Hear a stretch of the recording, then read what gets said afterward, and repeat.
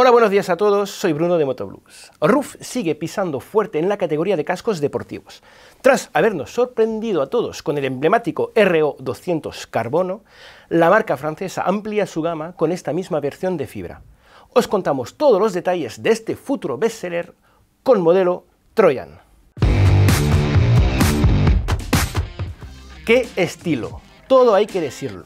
El RO200 es el resultado de un gran trabajo de aerodinámica. De frente tiene una forma bastante redondea, sin grandes ángulos, lo cual también impide que el aire llegue a los mecanismos laterales y provoque ruido dentro del casco. Quienes han tenido la oportunidad de probarlo se han quedado impresionados por este aerodinamismo y por la ausencia de ruido. En caso de caída, que espero que no, es algo también que facilita el deslizamiento y no lo obstaculizaría. Una buena forma de limitar las lecciones y que no hay nada peor que las cervicales que el casco se enganche en algún obstáculo. Ya que hablamos de seguridad, hay que decir que la calota interna está formada por EPS de 5 densidades diferentes, lo cual permite adaptar la amortiguación a cada zona de la cabeza. Es lo mejor en materia de protección. En cuanto a la calota externa, está fabricada en fibra de vidrio, un material resistente que RUF domina a la perfección y que lleva utilizando en sus cascos desde sus inicios, en los años 90. En cuanto al peso, el RO200 de fibra está 200 gramos por encima de su homólogo en carbono. Bueno, parece mucho dicho así, pero en realidad solo pesa 1280 gramos en la talla S, o sea 58, y 1370 en las tallas siguientes. A modo de comparación, 1370 es más o menos el peso de un Soye X Spirit 3, es decir, que está muy bien. El RO200 de fibra de vidrio no es un casco con una estética especialmente llamativa. Es bastante discreto.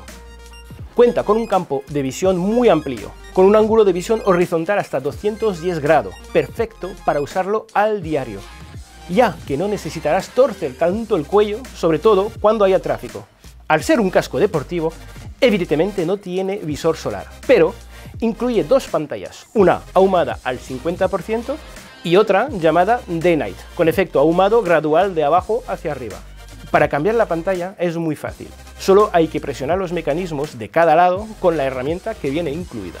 En la pantalla Day Night se puede montar el pin lock, también incluido, y de un tamaño adaptado a este tipo de pantallas.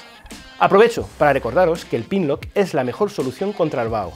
Hablando de vaho, también el casco tiene el innovador sistema de ventilación de la mantonera, más que una simple apertura, es su conducto que dirige el flujo de aire a dos lugares, la cara, cuando hace calor, o la pantalla, cuando hace frío. Muy, muy bien pensado y sobre todo muy eficaz. A menudo sale el tema de llevar gafas con ese tipo de casco. Pues os lo confirmo, el RUF RO200 sí se puede llevar gafas. De todas formas, es normal que si las patillas son muy anchas resulte algo un poco incómodo.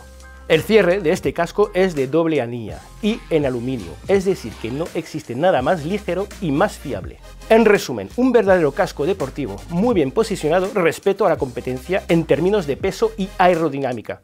Y, al mismo tiempo, un casco agradable de llevar fuera de circuito gracias a su amplia pantalla, su confort y su eficacia contra el vaho.